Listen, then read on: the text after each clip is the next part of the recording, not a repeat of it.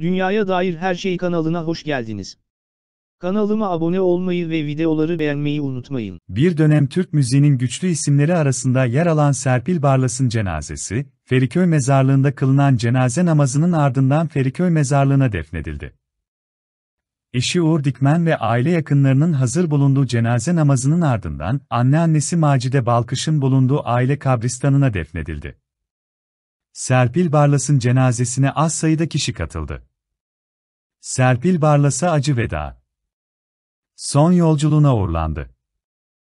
21 yıllık eşi Serpil Barlas'ın cenaze namazında konuşan eşi Uğur Dikmen, kalbinde ritim bozukluğu vardı.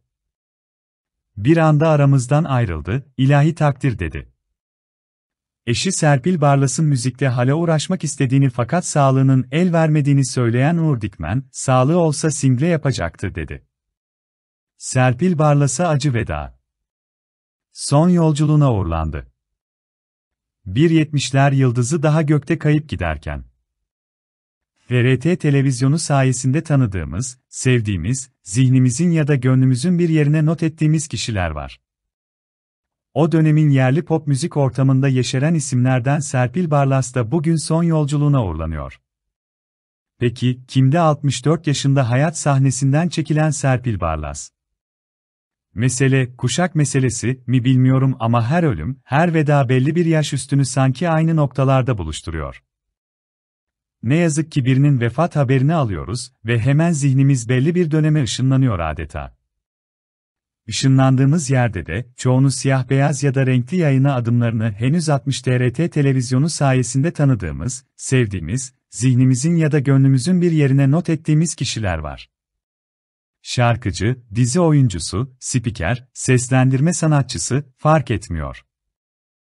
Meslek tanımı ne olursa olsun, topluluktaki yerini almışlar, hatırasını bırakmışlar.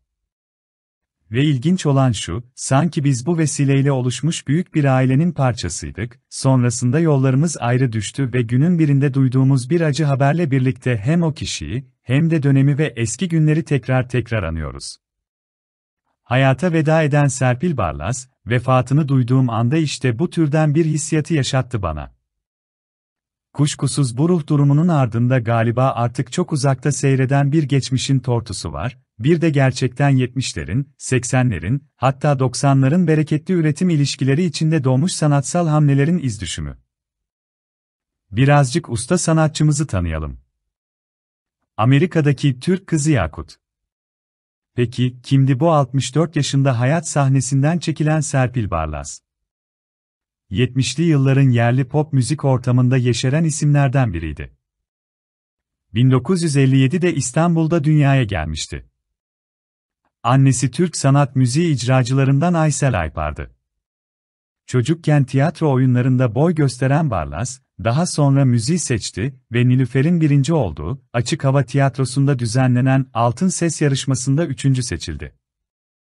Yarışma sonrası Erdal Gürel Orkestrası'na katıldı ve burada profesyonel hayata atılarak şarkı söylemeye başladı. Gürel'le evlenen Barlas'ın rotası artık yurt dışıydı ve İran, Lübnan, Amerika Birleşik Devletleri gibi ülkelerde gece kulüplerinde sahne alırken Türk kızı Yakut ismini kullandı.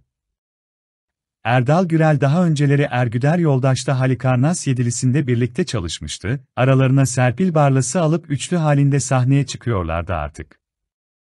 Peşi sıra Güler'le hayat yolları ayrıldı Barlas'ın. Serüvenini tek başına sürdürmeye başladı. 1976'da Hangisi, ilk ve son adlı albümünü yayımladı. 1977'de olanlar oldu, Dibi Dibi da, Yandım Aşkınla Ben, Biricik Sevgilim, Ne Olur Ne Olmaz, Dert Etmem Kendime, ilk Sevgilimdi o gibi 45'lik plaklarıyla döneminin ünlü pop yıldızları arasındaki yerini aldı. 1978'de Eurovision Türkiye elemelerinde Yaşamana Bak parçasını ikinci baskı grubuyla birlikte seslendirdi. Aynı yıl Amerikalı bir uçak mühendisiyle evlenip yeni dünyaya yerleşen Barlas, yaklaşık 15 yıl yerli ortamdan uzakta seyretti. 1993'te boşandı, akabinde Türkiye'ye geri döndü ve AIDS'te mücadele kampanyalarında çalıştı. En son müzisyen Uğur Dikmen'le evlendi. Sanatçı iki de sinema filminde rol aldı. Bir dönemin hayatımızdaki renklerinden biriydi Serpil Barlas. İzlerini bırakıp gitti, tüm sevenlerinin ve hatırlayanlarının başı sağ olsun diyoruz. Serpil Barlas'a acı veda. Son yolculuğuna uğurlandı. Serpil Barlas 1978 Eurovision Türkiye elemelerinde Yaşamana Bak şarkısıyla yarışmıştı.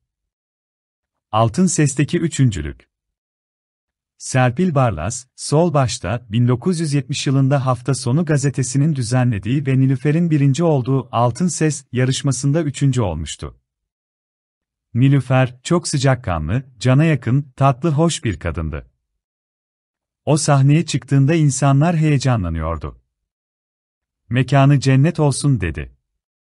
Serpil Barlas'a acı veda. Son yolculuğuna uğurlandı. Sevecen ve nazikti. Sanatçının arkadaşı Cahit Berkay, sevgili Serpil'e rahmet, eşi değerli dostum Uğur Dikmen'e de başsağlığı ve sabır dilerim dedi. Usta sanatçı Sabahat Akkıraz ise, sanat ailemiz bir üyesini daha kaybetti. Serpil Barlas Hakk'a yürüdü. Ölen programları yapardı televizyonda ve birçok kez konu olmuştum. Çok sevecen, nazik ve müzik bilen bir büyümüzdü. Nur içinde uyusun. Üzgünüm açıklamasını yaptı. Son yolculuğuna bugün uğurlanacak.